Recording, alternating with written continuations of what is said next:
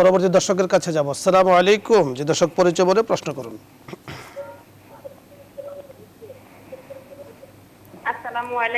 ওয়ালাইকুম আসসালাম। হুজুর আমার দুটা প্রশ্ন। জি বলুন। প্রথম প্রশ্ন হলো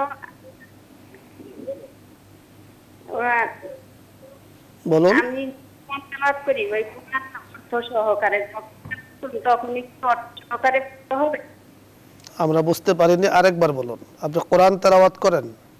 যে এই কোরআন তেলাওয়াত করি ওই কোরআন শরীফ অর্থ সহকারে। অর্থ সহকারে আপনি পড়ুন। কিন্তু যখন তেলাওয়াত অর্থ সহকারে ধন্যবাদ আমরা বুঝতে পেরেছি। দ্বিতীয় প্রশ্ন করুন।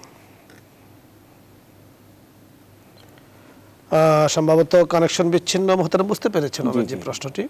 যে আমার বোন কোরআন তালাওয়াত যখন করে কোরআনের মধ্যে অর্থ আছে তো অর্থ সহকারে না করে শুধু কোরআন তালাওয়াত করবেন কিনা উনি?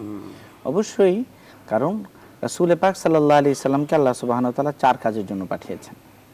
সূরাতুল বাকারা আল্লাহ সুবহানাহু ওয়া তাআলা ইরশাদ করেন যে হযরত ইব্রাহিম আলাইহিস সালাম দোয়া করছেন রব্বানা ওয়া বা'আস রাসূলাম মিনহুম ইয়াতলু আলাইহিম আয়াতিকা ওয়া ইউআল্লিমুহুমুল কিতাব ওয়াল হিকমাতা ইউযাক্কিহিম।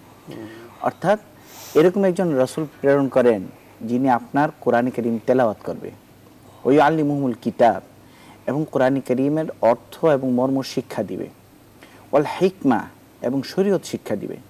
ওই কিহিম এবং পরিশুদ্ধ করবে তাস্কিয়ায় নফস করবে। অর্থাৎ সুফিজম বা তাসাউফের যে কথাগুলি বলা হয়।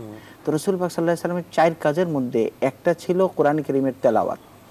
এইটা মুস্তাকিল এবাদত এটা অর্থ না বুঝে পড়লেও সোয়াব হবে।